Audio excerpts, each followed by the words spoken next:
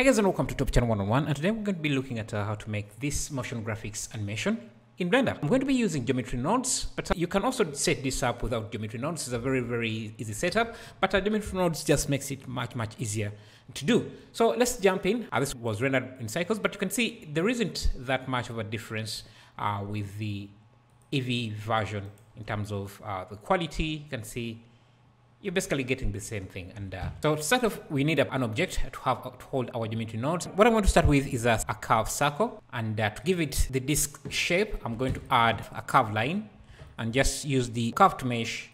And I use this line as the profile, and that will give us the disk. So if, if I change any of these values, you can see I can make it larger. And if I add a transform node, I can even rotate this on the Y to make it rotated. But you see the rotation is not at the center. So to make it at the center, I just need to change the start to be negative 0.5. And now if you want to change the scale, we can just use this scale here. And you can see it's always scaling from the middle and I can even change the rotation of this so that we have a vertical option, uh, which I have in this here. So if I change in I change this from flat. I can make these to be vertical disks like that. I, I just use a switch node. Uh, so I use a combined node. I can connect this here, rotate this 90 degrees, which is 1.57 in radians. To have the option where I can switch between vertical and flat, I can use a switch node uh, with the vector option. So I can connect this to false and then connect this to and now if I switch on this, I can switch between uh, the two. If I wanted to, I, you can expose uh, this here to manage the scale of these disks. Uh, but uh, from there, we need to instance these so that we have several disks. So I can use the instance on points. Uh, these are going to be our instance and our points are going to be a vertical line mesh so that we have this going up like that. But I want to change this from offset to endpoint uh, like that so that we can increase the count without changing the height. We can use uh, the end here to adjust the height. And I also randomized uh, the scale a bit here in the instances so you can use a random a random value on the scale so that each instance is scaled randomly uh, like that. I also don't want all the disks to be full disks so I can come here realize these instances and I use a delete delete geometry to delete some of the faces randomly using a probability. So if we go if we use a random value and change the type to boolean we get this probability option uh, that we can use to select which faces uh, we, we delete or we remove. So if I reduce the polygon count here to one and just focus on this disk alone, you can see how that can easily give us a sci-fi uh, thing. Now also I wanted to play with the rotation. Let me bring back the count here up and I bring this down. So we have a disk like that. I wanted to play with the rotation a bit and so I did a random option here with a combine XY connected this to this. And uh, if I connect this to this I see we get we can rotate these randomly at the disk randomly giving us a nice sci-fi effect. So I can use a scene time node connect the seconds to either the maximum or the minimum and uh, I should be able to randomly rotate these so something like that, I can control the speed by adding a math node, multiply with whatever value I want. If I want to speed it up, I just increase this value, slow it down uh, like that. We have to do the texturing, adding the effects and everything. Uh, that gives it the sci-fi look uh, like that. you can see I'm using a few images and uh, some image sequences are for some of the loading screen uh, textures. You can see this kind of loading effect here. Uh, that is an animated a sequence. Each of the disks has a different uh, image and I can even randomize that by using some of the options here. I can use the HUD seed to give each, each disk a random texture, a new texture, creating a totally different animation without doing a lot of Wow, that's what we're going to do here. First, we're going to create a new material that we're going to use for the disks. So I'll call this disk and I use a set material, use the disk material. Let me switch this to a shader editor and uh, look at how we're going to approach this. First thing we're going to do is UV unwrap these. Uh, so if you go to textures, image texture and uh, get any image texture that you want, say something like this image sequence and uh, try to preview it. You, you don't really see anything uh, because we have not UV unwrapped this properly. So what I'm going to do is set up some UVs and uh, I'm going to store them into a named attribute called UVs. It's going to be a vector and, uh, and I can also use it here uh, through the attributes UVs. And unwrapping disks like this is very simple. All you have to do is go to the curves that uh, create those disks. Uh, so for, for example, this curve here, uh, we can get its length and use it for the x coordinates of the UV and uh, get this uh, other curve that we use as the profile, uh, this line here as a profile, gets its length and use it as the y component of the texture coordinates. So I'm going to do a capture attribute and I use a spline parameter. This will give us the length and the factor. We just need this here and uh, I can use and combine xy here because we want to capture uh, the, the factor when this is a curve, transfer it to the stored attribute when this is a mesh. So I'm just going to capture this here, connect it to the y, to the x. Now let's make sure that uh, everything is working correctly. Ah, we are not previewing. Let's preview this here. And you can already see that uh, since we're capturing this factor and transferring it as the x coordinates, we're getting the x coordinates here through the length of this. We can do the same thing here. Just capture uh, the factor or the length of this line and uh, transfer it as, use it as the y component and you can see we have coordinates. And to make sure that uh, you can see that uh, we have some nice mapping and even the animation is working correctly. Let me get another animation. Made quite a few animations. Yeah, you can see we have even this loading screen. Let me first restrict the just this to one disk and uh, I'm actually going to expose the probability and the count here so that I can access them easily. Okay, so you can see what we're having and uh, I can even bring the subdivisions back up. And if I increase this, the resolution, I get more smaller subdivisions. So in my original version, you can see that uh, I have the ability to switch to randomize uh, the textures or the these details here, HUD design seed. So to do that, uh, we're going to create some complicated shaders here. So I'm going to just use two here. So I'm going to use another version here. Let's let me come to something like this. Still needs the mapping. I see what we're getting. Now maybe let's also grab a third one. I'll show you how to make these designs easily within Blender and how to animate them quite easily as well. So let's say we want each disk, this example where we have multiple disks like this. Let's say we want each disk to have a different texture. What we can do is give them a different color that we could use up here. What I can do is just come around after the realization here. I can create a selection of different islands by using the random value on here. And if I preview this, you can see we're getting a, a random value, but it's for each vertex or each point. What we want is a random value for each island. So to do that, we just need an ID to inform the random node that we want a random value for each of the islands, not just for each of the vertex. Grab a mesh island and uh, that will give us each island's index and uh, we can use that ID to inform our random value and uh, that gives us a random color like that.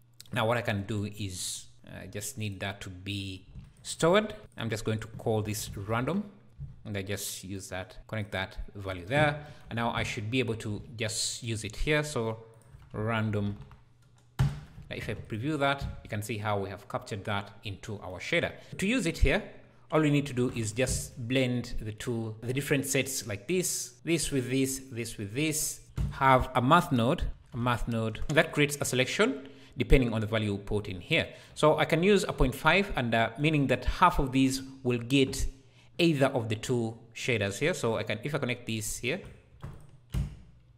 you can see now we have half of the islands getting one image. And uh, to best demonstrate this, I can just use colors. So A can be red, can be blue, and uh, red can, this other one can be blue. Let's say if we wanted to introduce some green colors, you know, like that.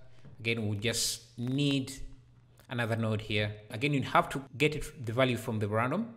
Now this time we can do anything above 0.66, yeah,